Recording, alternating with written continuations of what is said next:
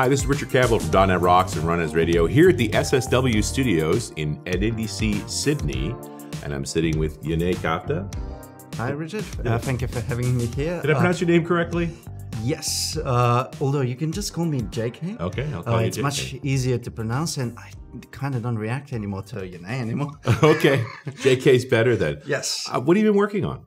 So I've been working uh, on teaching people uh, doing machine learning, uh, kind of introducing that, Hey, machine learning is actually pretty wide and hard, but for instance, if you use something like ML.NET, uh, you can actually get into machine learning much easier. And if it doesn't really fit your scenario, let's say you need more complicated machine learning, mm-hmm. you now have a, some of the basics to carry on. Say, go to TensorFlow or CNTK, which is the uh, Microsoft Cognitive Toolkit, mm-hmm. uh, and you know, go from there. So most of the time when I think about machine learning, I think about data scientist types, really data types using this. But you're talking about developers when you say ML.net? Yes, that's correct. Mm-hmm. So for developers, we really need to uh, know a sprinkle of uh, data science uh, to be able to make a prototype and then try it out on production data, see how it goes, mm-hmm. and then have a human to verify are we getting the results we're expecting? Or do we need to uh, get some data scientists uh, to look at the data and see hey this is what you need to do? Interesting. So yeah. certain levels of complexity you kind of want to defer to the pros? Yes. Okay. Uh, and yeah basically what i want is for people being able for developers being able to identify scenarios look at the data and say hey, actually we can do something with machine learning. Let's have a prototype. And if if it looks like this this actually could be something real, mm-hmm. they can pull in data scientists, they can do some experimentations. Maybe even the prototype will be good enough, mm-hmm. especially if you have, you know, someone to check the results. Uh, or the results are not, you know, life critical. Right. Um, and you know, if if it doesn't work with your prototype, there's a good chance that if you bring a data scientist, that they'll also struggle getting probably some won't work result. there either. Yeah, because I, I, find it interesting. If you know what your expected results are, do you really need machine learning? Could you just do this more algorithmically?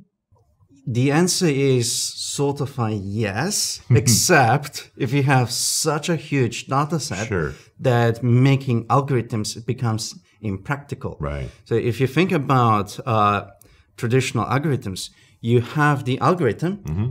that, based on the data, give you a result. Machine learning gives you an algorithm based on the data. Right. So it's like a reverse, reverse engineering our process. Right. I know the inputs. I know what my expected outputs are. Find me the algorithm that gets that consistency across a larger set of data. That's correct. That's the machine learning approach, as opposed to I have the inputs, I know the rules, tell me the outputs. That's correct. I think I saw that diagram one time. Oh yeah, there's a simple diagram on Twitter. Fortunately, I don't have it over here, but that's fine. Yeah, it's super. So, what scenarios? Can you paint me a scenario where ML.NET would make sense in an existing application? So we have on government, for instance, uh, classifying offenses, okay. uh, where uh, people are just describing uh, what the offense is. A criminal and, offense. Yeah. Okay. And then you can classify them really quickly so uh, people can uh, box them quickly and then process the high priorities against the low priorities. Okay. So, for instance, if a child needs to have um, uh, what's the word? Um, they need to be uh, protected. Right.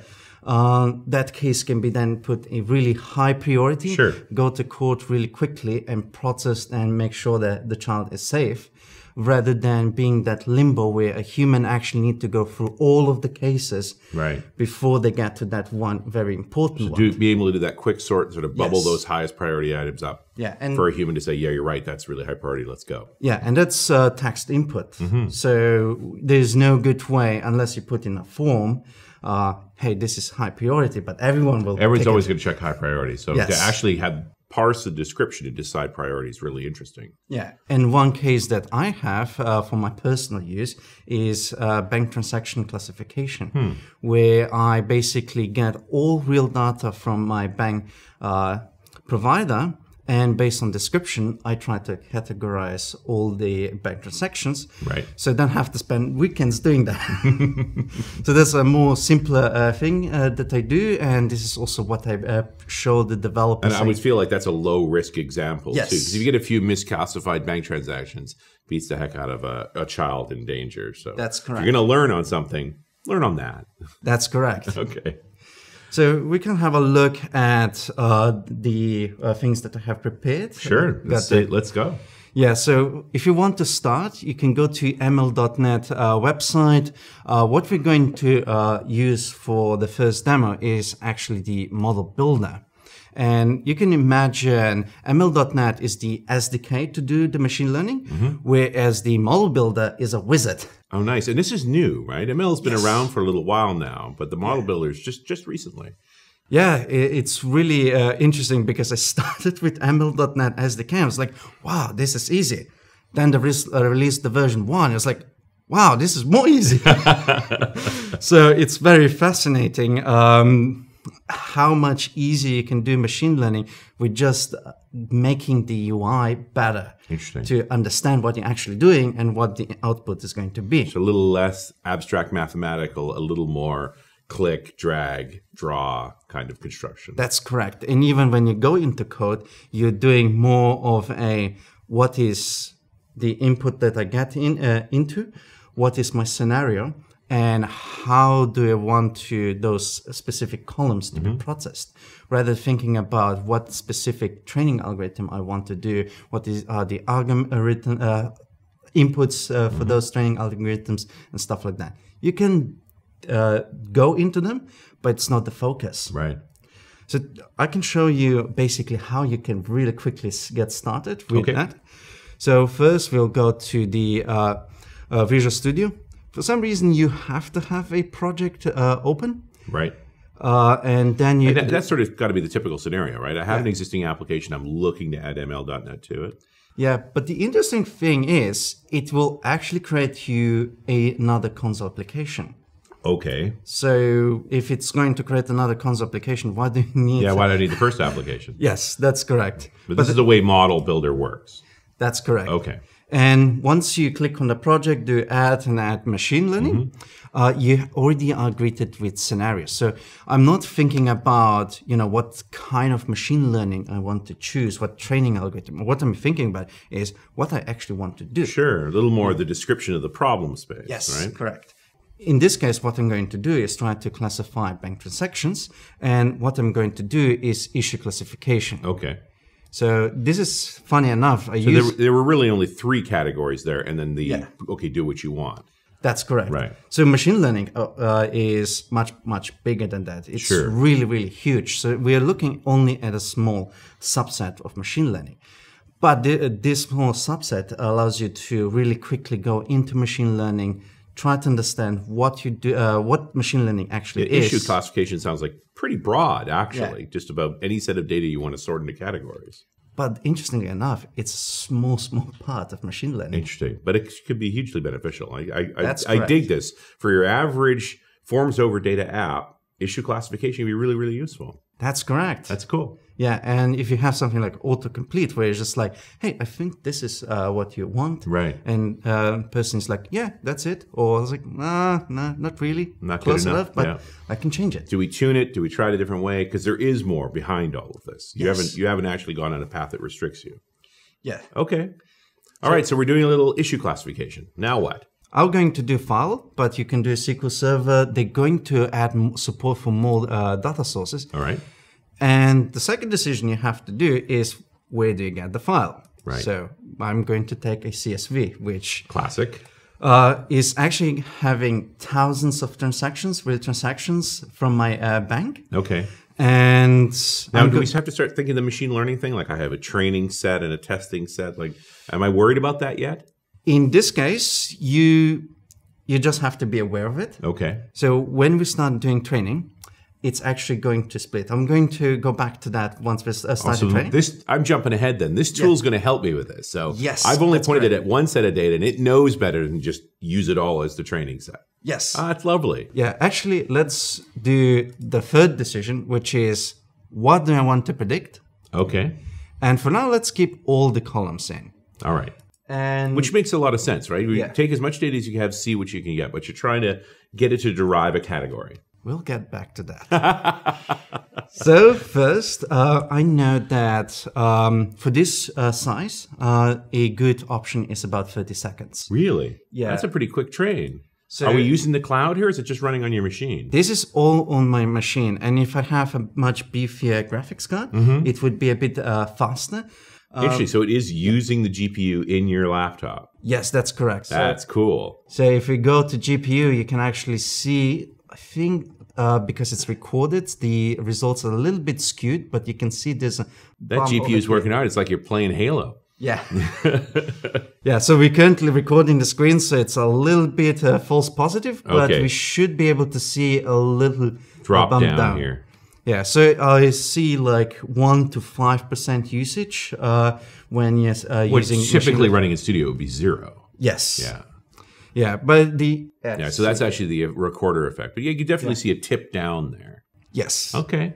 Yeah, so it is using mach- uh, GPU, Yeah. which is very interesting. So you don't have to uh, do anything uh, about that. Mm-hmm. And what we can see here is we get about uh, 84 to 85 percent uh, accuracy, usually with this. Uh, So I'm set. now I'm now impaired by knowing too much about machine learning. But it suddenly Yeah. hits me. So it split the set. It ran Yes. a test the, the test set and then evaluated against the rest. Yes. And you're not overfitted. Like wow, Yes. a lot of work just happened yes, in 30 seconds. yes. And the thing is, like, I don't know exactly what the percentage is going to be because it randomly samples the training Right. data and the evaluation. So I know that it's going to be between 84 and 85 because I have lots of transactions and there's a lot of similar transactions. Now I don't feel like 85 is good. Am It's- I wrong? So for this use case, it's actually okay because I'm the, the one that verifies and think about the 15% are usually the edge cases. Right. The, the things that don't happen very And, and it's going to show you uncertainty. So you can Yes. easily get to that 50, 15%. So it has taken 80% of the work or 85% of the work off of you, given it's correct. Yeah. Well, actually, in my use cases, I see it, it's almost closer to 95%. Wow, okay. Because those 15% happen very rarely. Right, right. But in certain cases, those 50% could happen much more frequent. Right. So you have to test it out and see uh, in real world, you know, how much does uh, that accuracy uh, impact? Because it's really based on your use cases. Mm-hmm. You only might have a couple of edge cases, but how many times they actually happen in the real world? Right. This test case, it's coming up 15% of the time, but Yes. might be less than others. At the same time, we get back to this whole idea of machine learning not replacing work, but taking away unnecessary work so that you can focus on the smaller set that's really important and do a good job on that. Yes, and this is emphasis if you don't have a data scientist, if you don't have a lot of time investment Mm-hmm. into making automated system that is very reliable. Right. This is just you know a developer uh, takes an hour, plays around a little bit, has a prototype that can be shipped to production. Yeah. As long as somebody checks it, you know you get add value to the product. Sure. Without actually investing a lot of time. No, no, and and and arguably saving if somebody has to classify all those items anyway, and you just made eighty five percent of them done, they're pretty happy. Like the amount of work just went down substantially for not a lot of effort. Yes. But if we put a little bit of data uh, science, let's see, say, if you understand a little bit about classification, what you know is classification isn't really good with noise. Okay. And one uh, and the best ca- uh, example of noise is date Date. on bank transactions. Of course, that's nobody noise. think nobody thinks about it is but it's like how is a arbitrary date related to the category Interesting. i mean if you have monday tuesday friday uh, wednesday uh, saturday it's that's relatable you can figure out something Sure. if you have time like time slot well it's breakfast uh, it's dinner and stuff like that but if you have a specific date it happened on that date what does that tell you Yeah, not a lot, yeah so but it can keep the model busy unnecessarily. yes So you're going to take date out of the training. And what we should see is I'm So now another 30 second run, Yes. you're reprocessing this. So Yeah. this is literally Yeah. a refactoring. You've gone back and you're doing it again, yeah, and just removing data. Like I feel like I could hack at this at 30 second intervals. Let's just turn some things off and see how we do. And that's exactly what I'm showing people. It's Mm-hmm. like, hey, now you can open a CSV, uh, either modify the columns, Mm-hmm. uh, maybe when you import the CSV, just make some modifications. Right. Little Uh, data cleaning. Yes. And then all of a sudden you're getting uh, different results. Like Sure. previously we had 84%. Now we have 85%. All right, so an And- improvement. Yeah, and sometimes even bumps to 86%. And Again, just- you never know with this demo because it literally is randomly selecting data. In some ways, it's more honest by using the model builder than it would be by any typically contrived machine learning model. that's exactly right. That's really cool. You know, the other thing that I realized is you don't actually need most of these values. Uh, this is something that came directly from the bank transaction. Right. This is a uh, raw dump of data. And what I realized is the expense amount and in-memory currency is always the same. The currency and main currency are always Australian dollars. And I only exported uh, income, so uh, Right. expenses. So I don't have any income here. So that is not uh, useful. Sure. So what I can do is a little trick for anyone who has more than uh, six columns. Is there You- a minimum number of columns I want? You won't be able to scroll down Oh no, col- it's a bug. yes. That's not good. But how you can solve this is clear all. Right, You select the one that you can select uh, as a label, right. and you go back to the one that you want to do uh, uh, label. So now you're down to really just two columns: Yes. the the uh, the category and the description. Yes, and the reason why I want to remove most of the stuff is if you really think about what amount uh, means is unless you have a deep learning uh, model, usually the description is going to tell you what the category is. Sure. There's some very uh, specific cases like Uber where you have uh, Uber as driving and Uber as Uber Eats, Right, two different And- products. and they have the same description. Right, But everything else have a unique description, and the amount actually doesn't uh, uh, contribute much, and- and makes- except for those two cases. Right. So, do you want to actually lose the ability to differentiate uh, those two and have much simpler model and also much simpler input? Because Mm-hmm. now you don't have to input uh, amount, right. or do you want to have more data just so that you can distinguish those two? Uh, That's a Yag, that's a Yagni problem. You ain't Yeah. gonna need it. Yeah, and also account is a di- uh, interesting uh, example Mm-hmm. of overfitting because transactions should be the same whether I'm using a Visa, Mastercard, Sure. and stuff like that. But if you have account, what it's going to do is going to uh, correlate the account you're using with the description name. Right, it might vary the category accordingly. Yeah, so when you switch the credit card, uh, your accuracy is going to go down. Right, So for bank transactions, usually the best thing is just to use the description and then the label, right. and maybe a couple of more uh, uh, columns if they're really good. Date, for instance, if you convert it to actual days, like Monday, Tuesday, Wednesday, Right, day of the week. it's it's okay. But most of the time, you're actually not getting the date of the purchase, but date of being processed. Right, which can be easily off by a day or two. Yes, which doesn't make it useful. Yeah, in fact, it's it's basically dirtying the data at that point. That's correct. So now if we train this, what we'll see is that the accuracy actually uh, won't go as much down as you would think. Like we removed, We've removed data. That's counterintuitive that it would be better with less data. yeah, the only exception is if we have uh, columns that are direct correlation. So for instance, uh, the service that I'm using also have uh, tags, uh, which basically, um, you know, you have That could be a classification. Yeah. and tag. So tag already tells you what ca- uh, category you're using. Right. So if you have that column, it's just completely wrong because that's not the data. First, that's not the data you're getting Mm-hmm. when you're having the bank transaction. That's also a part you want to predict. Right. And a second thing is it's directly correlated. It's like w- almost one to one. right. So it's not really It's useful. not useful. So here we have 84%, which is interesting. Sometimes it bumps to 86, sometimes to 84.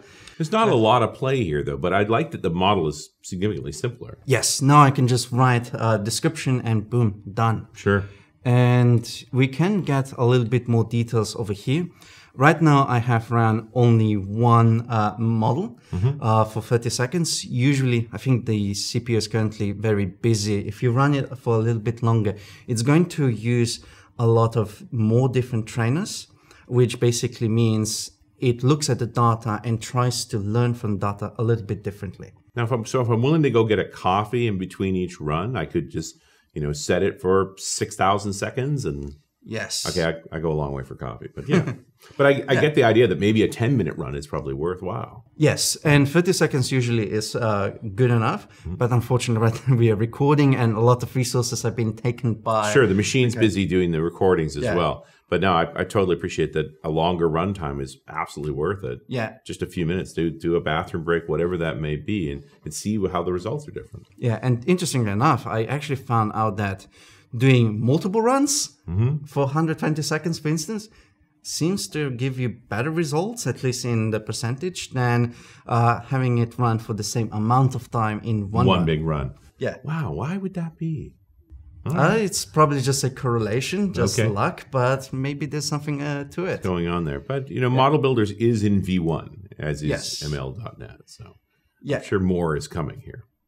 Yeah, and the next step would be simply just add project. Nice.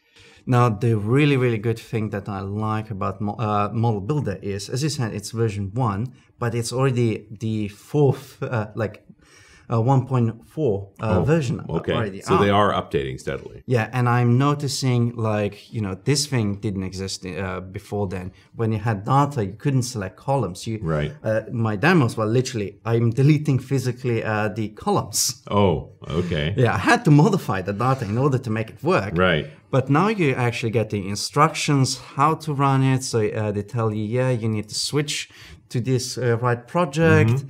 Um, you're getting a NASA class library. Uh, previously, you just get the model, uh, the inputs and output uh, Mm-hmm. model, which is the representation of the uh, CSV. Uh, so basically, this is all the CSV, and then the model understands which columns to ignore and how to process. Model essentially is the knowledge base. How do I get from this input to result? Right. That transformation, and we don't actually have to understand it. No, it's It's been like- generated for us and it works. So Yeah. we're, we're kind of done. Yeah, and this p- part is uh, when you want to retrain, uh, the only thing you need to send to the clients is this uh, zip file. file. Yes, as long as the input and output are the same, you just send that file. Nice. Boom, done. Pretty simple. Yeah, and you can also see it's the actual code to recognize uh, Right. things, uh, to do the uh, predictions uh, is very simple. We load the model, we create a pre- uh, predictor, which basically takes the model that knows how to do transformation, and now we can do predictions. And a good tip is the model itself, this part, is thread safe. Right. So you can have it like a singleton in dependency injection, where the predictor is not thread safe. So this is something you want to have it as a transient dependency. Right.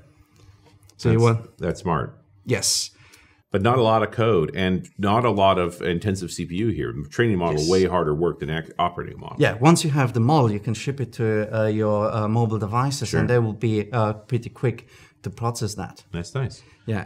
But and, and it does actually know the ones it's not certain of. So it is easy for you from a code perspective to go give me your your uncertain items so that I can review them. Yes. So what they do is you can actually run the application, and here you what you're getting is uh, the results. So it gets apparently random one, but it's always the first. Right? It's supposed to be random. First is random sometimes. Okay. Yeah. Uh, if you don't expect it's first, it feels random. um, but what it does, it gives you not only the prediction. But over here, you can see that it also gives you some random numbers. Right. So this is basically giving you the weight, how sure uh, that each of those Right. labels. Can you call it confidence? Yeah, yeah, confidence. Um, confidence is a little bit tricky because it's all transformation. So it's just Oh.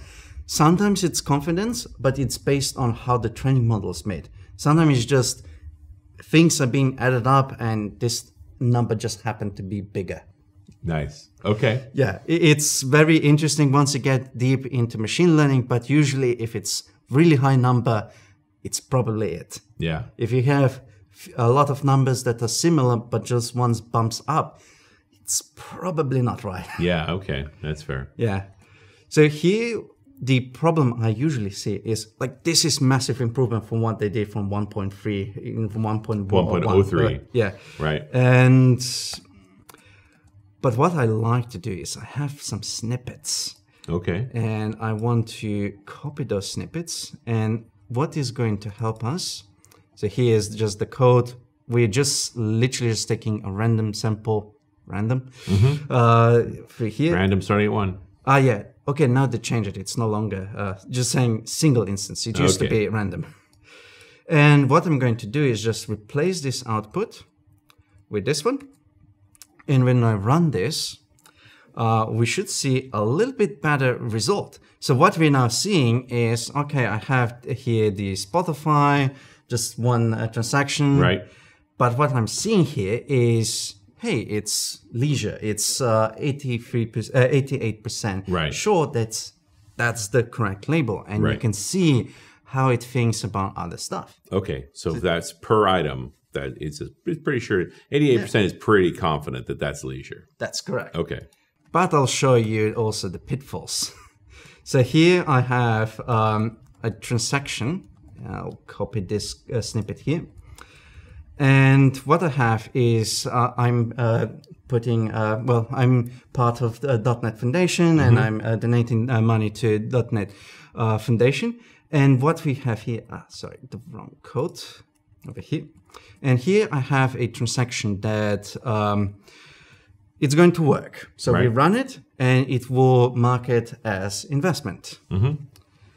If it doesn't work, then that's not correct. Actually, sorry. Uh, we need to close it. Okay. So we have investment and it's very, very short. Right. Right? That's very high. Nine, oh, Yes. above ninety percent for sure. But what happens if I change? Oh, by the way, it doesn't matter those values. Those Right. are just for uh, other demos Yeah. they have. But if I change one number, Hmm. what do you think will happen? I would think nothing. It's such a minor change. Well, they think it's food? Now they think it's food because you changed one number. So what ha- is happening is most of my transactions happen to be food. Right. And when uh, this minor change, the problem is the description column is hashed. Oh, okay. So a minor change, it will make it a unknown uh, uh, entity. So Right. what it's going to do is just like, okay, I haven't seen that before, so I'll just make it as that thing. Right. The thing that's most probable. Food. Yes. Okay. So this is one danger of machine learning. You Sure. can- like you can make a really nice prototype, but then you make small changes and it just doesn't work. Yeah, and you get these surprises in your data. Yeah, but one reason why I wanted to show this is it doesn't have to be that way. Uh, one of my snippets here is this one. I'll just copy that. And what we're going to look is how the uh, model is actually generated. So here we have create model, and here it generates uh, the it loads the training data, it lo- uh, makes a training pipeline and other things. What I'm going to focus here is actually just the training pipeline and specifically the description. Right. So what we see here, it's categorical and one hot hash encoding. Hmm. What does that mean? Any change will make it completely different. Right. So what I'm going to do here is I'm going to replace it with text feature text. Oh, okay. And that will give No us more hashing. Yeah. So minor changes are seen as minor changes. yes, that's Wow. that one minor change. Yeah. Hopefully if we have time, what we uh, can do is quickly do model dot create and I'll just return it because uh, the model uh, zip is not going to be copied to bin folder yet. Right. So what I'm uh, doing right now, I'm actually retraining with the same uh, CSV back to the model. Now there's also one little bug. in- Sometimes. so when you have model builder here, sometimes it converts underscore to dot. So that's something. that- Oh, you've had that before. You fixed that way too fast, JK. that, was, that wasn't a surprise for you. Yes, uh, I've been uh, practicing this, uh, but I kind of forgot about it for a moment. And now we have a new model. Uh, and the next thing I will have to do is rebuild. Right. Uh, so it will copy this model over here into bin folder. It's just how the, the project currently is uh, constructed, the one that is auto-generated. And I'm going to go back to... Are you still having to redo the processing time, the 30 seconds? Now this is a bit faster because it already knows which training algorithm to pick. Ah, I see. So the time it took figuring out the algorithm by comparing them doesn't need to do that now. Yes, so now it already knows all the configuration. Now it just runs the training uh, really quickly. So I think it was like five seconds, even Okay. less. Fast enough. it's just part of your compile. Yeah. And now if you run this, if the demigods are, are happy, Ah, you landed back in investment again with that new data. That's correct. And that confidence is even higher. Yes. and that's because what uh, tokenization does is basically takes bits and pieces of the text and splits them apart. Hmm. Right. So it's no longer looking at indivi- uh, as, as a whole, it's looking at parts of the text. Right. And to prove you that that's how it works, I'm going to go crazy. I'm going to remove most You took a lot of data out there. You took more data out, Yes. Uh, just close this one first. right? And now if all the stars align, Mm, I like how close you're flying to the sun here, JK. Yeah, just need to compile it. Yep. Still got it right. Confidence is lower, but you have very little data. That's correct. Yeah, that's and if we impressive. have, yeah, and if we clean up the data that we only have, you know, those unique uh, uh, pieces of uh, a description, the confidence would be much higher. But then you also uh, came to a risk where you uh, you need to understand how uh, to make all the descriptions unique, so you don't have collisions. I get it. That's awesome. Yeah. So this is where just putting a little bit of data science uh, makes uh, this actually a very viable uh, prototype that can even be pushed to production, and people can be happy f- uh, uh about it for years. And you're not taking any shortcuts. If you want data scientists to drill it and so forth, what you've built here can be adapted, modified, and grown on. Yeah, and one thing that I want to emphasize is if ML.NET doesn't really cover everything that your data scientists want, mm-hmm. you can consume other models, Okay. machine learning models. Awesome. And it doesn't really change too much your code. Mm-hmm.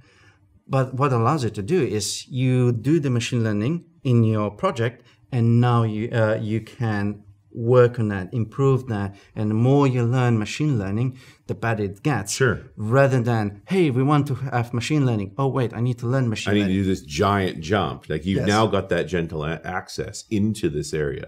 By the time you see enough value to spend the resources it would take to get those data scientists and other models going, you already know there's value there. Yes. It's really compelling. Yeah, and for the people who really want to uh, do similar thing uh, like that, but they don't want to uh, mess around with the uh, column descriptions and stuff like Right. that, I have something for them.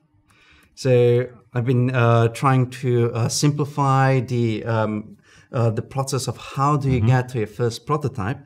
And what I have here is you can define a description. And by the way, this is a Blazor client side. Nice. And A little web assembly going on here. Yeah, I'll just do categories. I can read the CSV file, uh, re- read the description, and now what I can do is I can select that this description is a tokenizer. Okay. And here you can define all the namespace and stuff like that. Now, this is something what Model Builder already does. Right. But what I'm uh, having here control Yeah, a bit more explicit. You- Yes.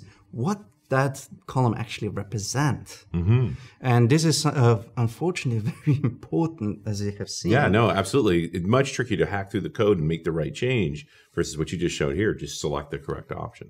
Yeah, and if you see, it's basically the same thing. Sure. I'm just adding uh, one small uh, additional uh, option. And here is the code that you can copy paste into your project. Right. And whereas in the previous example, we have already selected uh, alg- training algorithm. Mm-hmm. Here is uh, what I'm doing is using AutoML uh, NuGet package, Mm-hmm. which is exactly the thing that uh, the model builder is using, Right. but I'm showing you the code. Right. So now instead of using the specific training algorithm once you get the model, now you can try and get a new one, Mm-hmm. a better one, every single time. That's really neat.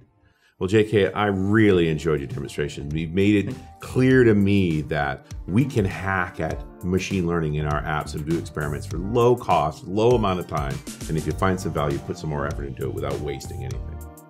Thanks so much for that. Yeah, thank you for having me here. That was good fun. And I hope you enjoyed this. Check out all the other SSW videos. Thanks for watching.